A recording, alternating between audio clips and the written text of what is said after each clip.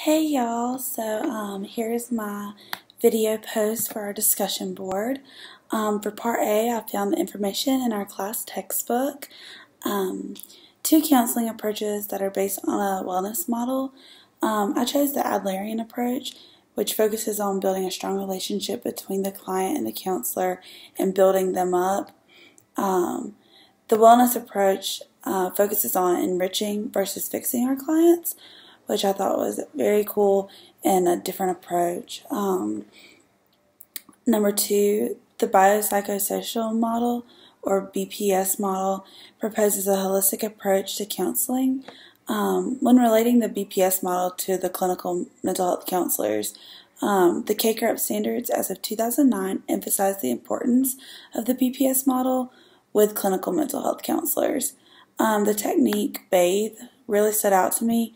Um, these are five specific areas to focus on in your counseling, and they're background, affect, trouble, handling, and empathy.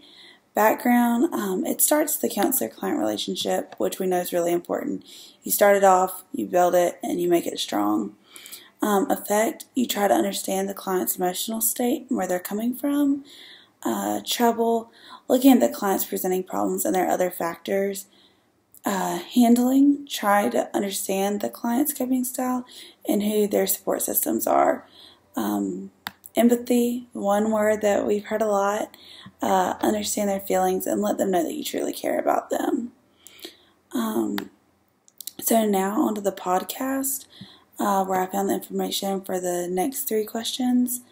Um, the speaker defines spirituality and religion by um, stating in, well, rephrasing it a little bit, but religion is a person's public face of their belief system, and spirituality is a person's private expression of their belief system.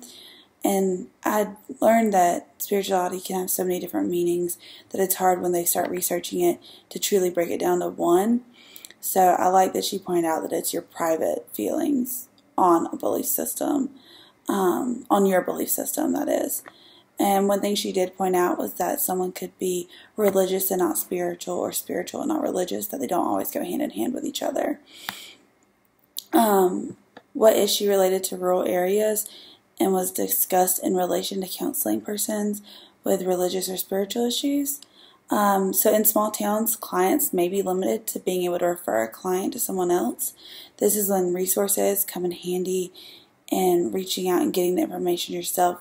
Um, to be able to work with the client that has religious and spiritual issues, you have to use your resources. It's out there. You just have to use it and find it. Um, internet's good for something. Um, and then, how important do you believe it is for counselors to be able to discuss religious or spiritual issues with clients? What is important or why is it not important? Um, I definitely got into this one. Um, I think it's really important that uh, counselors should be able to discuss their religious and spiritual issues with clients. This is where the cultural awareness truly comes in.